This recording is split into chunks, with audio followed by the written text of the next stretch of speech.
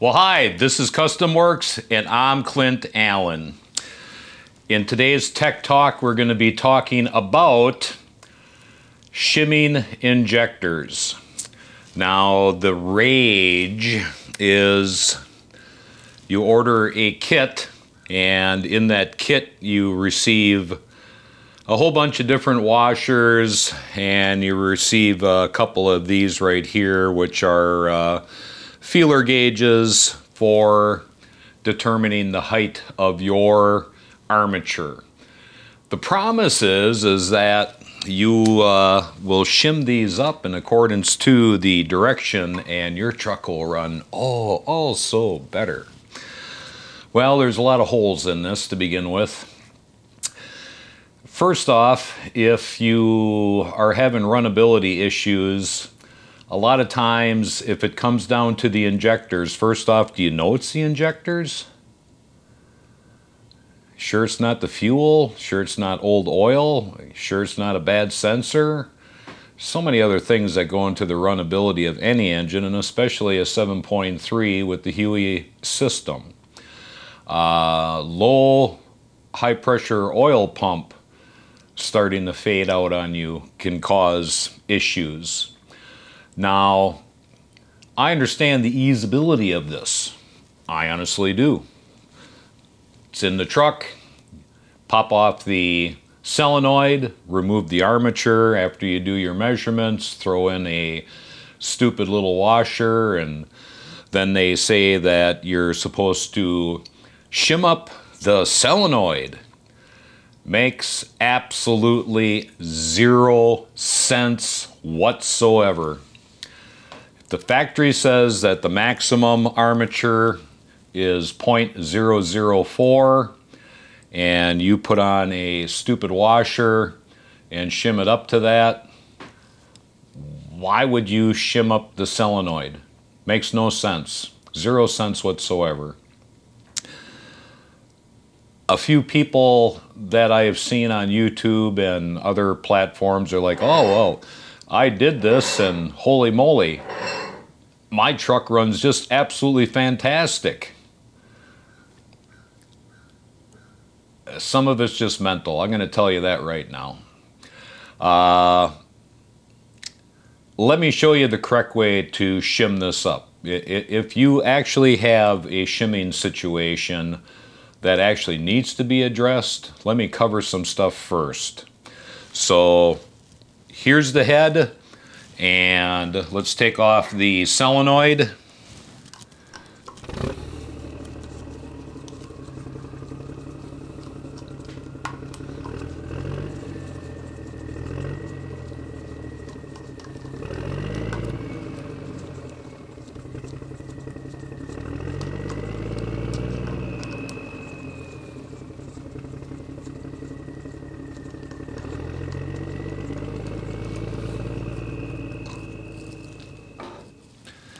We have the adapter right here. So right here we've got the solenoid off and I, I haven't pre-checked this so this will be a mystery to me too here. So we've got a .0003 that fits underneath here and a .0035 won't quite make her. So realistically at point 0003. Yeah, we're doing good, but I need to show you how to properly do this. We're going to shim this up to 0.004. Now, part of this that makes no sense is that here's the poppet. So right there's the poppet. Here's the top where the armature gets hooked up to First off, this can only travel so far. It's only going to go so far, so shimming up the solenoid makes zero sense whatsoever. But this is the critter that we're after right here.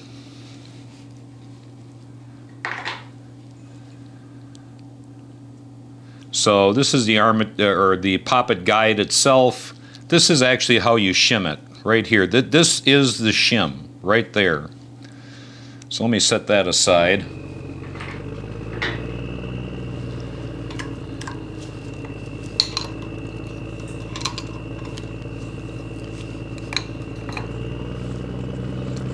Let's get this bad boy off of here.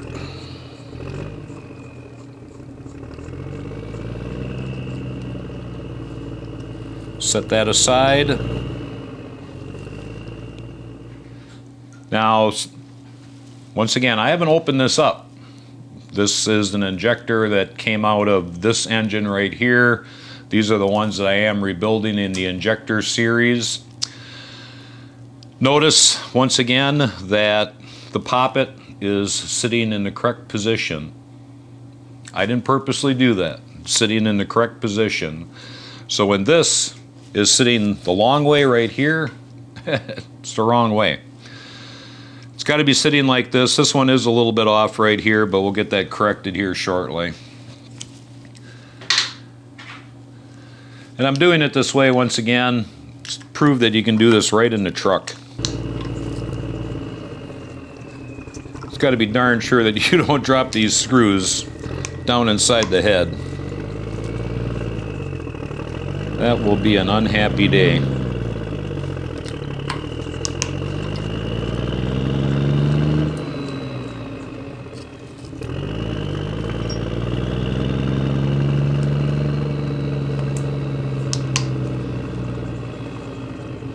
All right, so there's a spring underneath here. It's not like it's going to come shooting out and hit you in the face.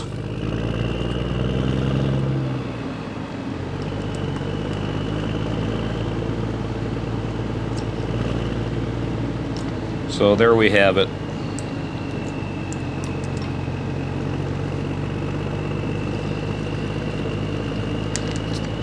Let's get this out of here.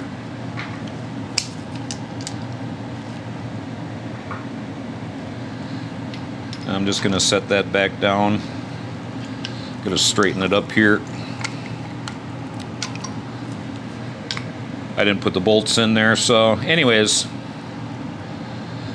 here's the guide once again. And this is the actual shim. This is actually how you professionally shim an injector. So let's go over to the workbench. You need wet, dry 1000 grit or wet, dry 800 grit. If you're first time doing this and you're not quite sure, you, have, you haven't done much automobile work or vehicle work, stick with a thousand. Now we're only going to be taking off maybe like an eighth of a piece of paper, so let's not get carried away. Come along.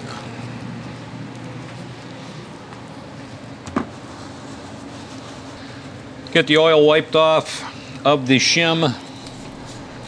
And then once again, we're only taking off a little bit here.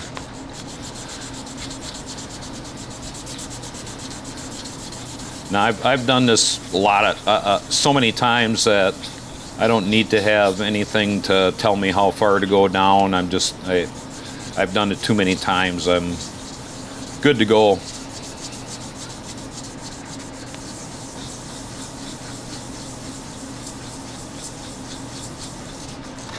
So I'm going to flip the paper here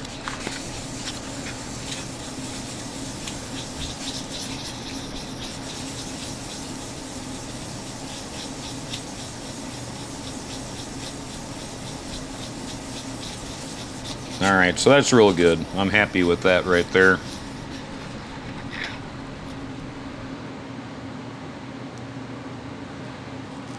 All right, let's come back. Let's put this back on the guide. You removed it, so you should remember that comes from the bottom here. It's gonna wipe the oil off.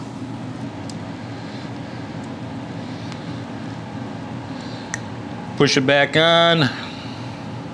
Give it a little bit of a turn.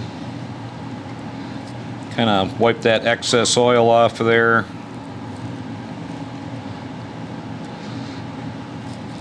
Now, if you notice, this is round, this is round, this is round, this is square. oil outlet. Set that back down.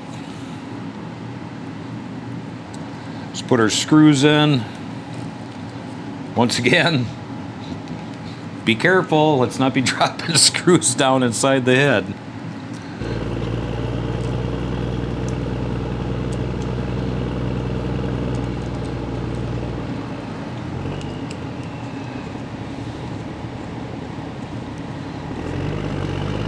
Get them tightened down, crisscross. As you're screwing the first one down, then just go ahead and push that top plate down.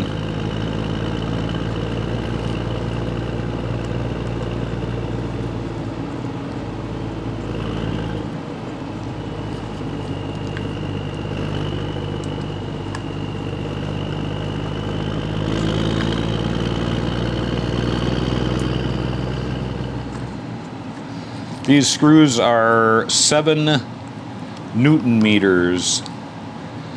For this, I'm just going to tighten them down. So we got that.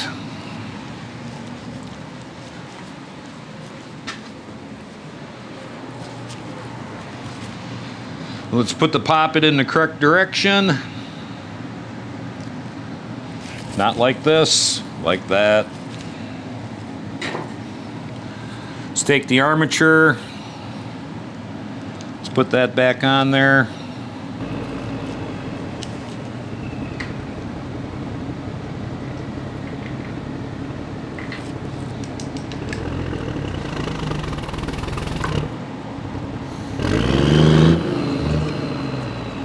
Armature screw is two Newton meters.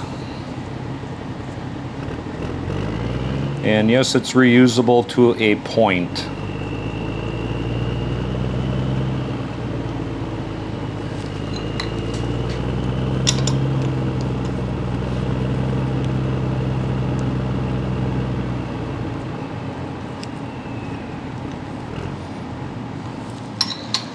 Make sure you're squared up. Let's come back with our gauge again and uh, 0.004 is what we're looking for. Get that. And bingo, 0.004 is where we're at here.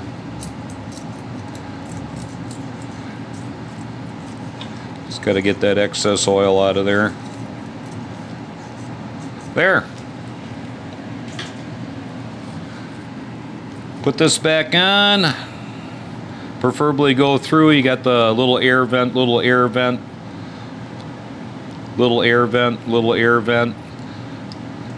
Drill this out to an eighth inch hole. Make sure that you put it towards the bottom.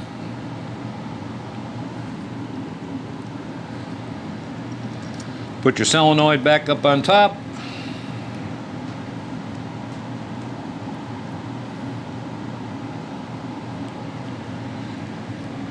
Turn them in by finger so you don't end up screwing them in the kitty wampus and messing them up.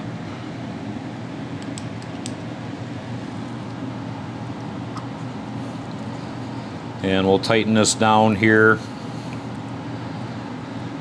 Armature gets tightened up to 2 newton meters if I didn't mention that already. These right here basically you snug them up. Then you come back through and give them a little bit of oomph. Don't have to go crazy here you know we're not trying to hold a uh, tire onto a rim. Or I should say a rim onto a onto lugs. All right. Boom. As simple as that. Number one it's done correctly. Number two, didn't spend any money. Number three, if it's going to run better, it's going to run better just with doing this. And you don't have to shim up the solenoid once again. Makes no sense. So I hope you've learned something today and you take it easy and you have a good day.